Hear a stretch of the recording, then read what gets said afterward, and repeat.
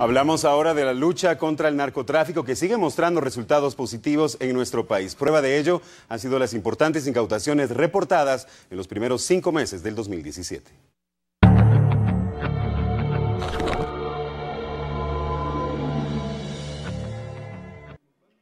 Las autoridades se han empeñado en desbaratar organizaciones que se dedican al tráfico y comercio de estupefacientes y parte de esa lucha es debilitar a los delincuentes incautándoles el dinero y sus pertenencias que han adquirido de manera ilícita. Las incautaciones registradas durante los primeros cinco meses de este año son 2.999 kilogramos de cocaína, 126 vehículos de tipo agrícola en su mayoría, dos aeronaves, cuatro embarcaciones, 58 armas de fuego, 5 millones de quetzales, un millón de dólares y además se ha logrado erradicar 17 millones de plantas de amapola y un millón de plantas de marihuana.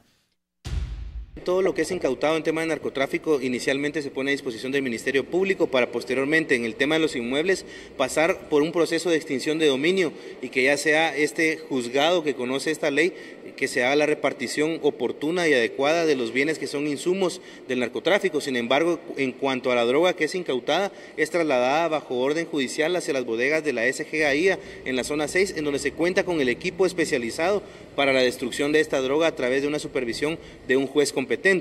En 2016, las autoridades decomisaron más de 12.427 kilos de cocaína, valorados en más de 1.276 millones 793.508 quetzales. El golpe al narco ese año fue importante y no se descarta que este 2017 se obtengan resultados similares.